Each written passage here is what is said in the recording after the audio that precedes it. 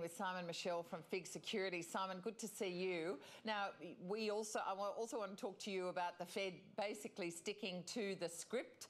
What did uh, bonds do? Uh, look, US yields obviously a little bit on the low side after that uh, low growth number we had uh, early in the week, and so they've recovered a bit of that, uh, moved up about four basis points. US 10 year around 2.32% at the moment. Yeah. So, what are they? What did you make of um, you know their plan? Really, I mean, there was no surprise in that. Really, it was all about uh, whether the Fed was going to acknowledge this softer data and right. make an adjustment to that future interest rate um, expectations. And really, what they did was they said, look, we're prepared to look through these softer data. You know, we're looking at the bigger picture.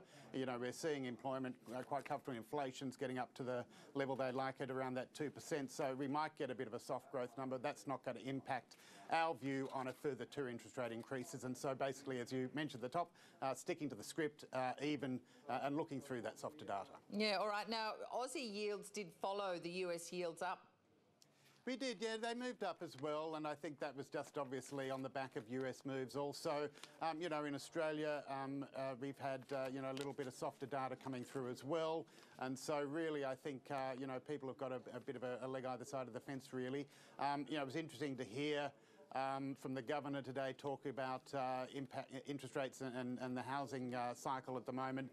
Uh, one of the things he said was people aren't pulling equity out of their, their homes like they did in the last boom. That's a, a positive thing.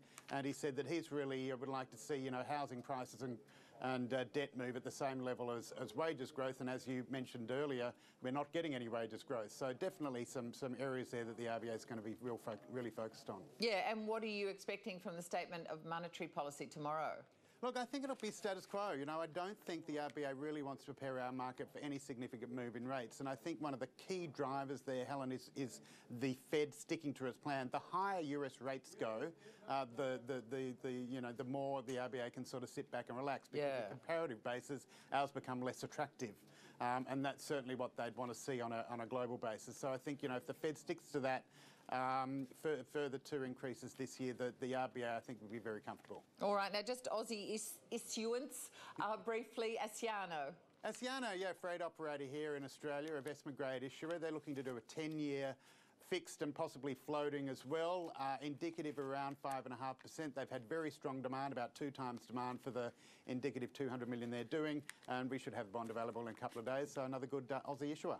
All right, Simon Michell from FIIG Securities, thanks for joining us. Thank you, Helen.